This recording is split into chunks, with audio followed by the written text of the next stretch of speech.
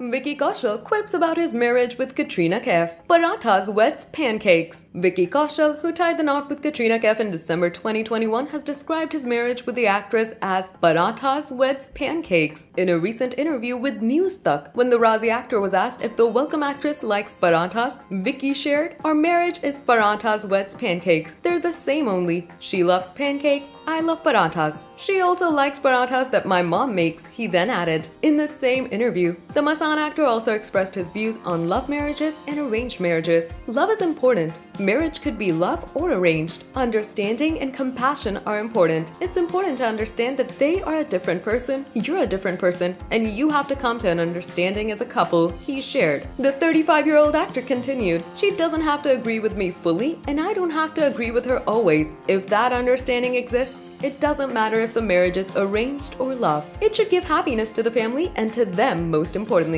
On the professional front, Vicky Kaushal is currently enjoying the success of his latest film Zara Hatke Zara Bachke.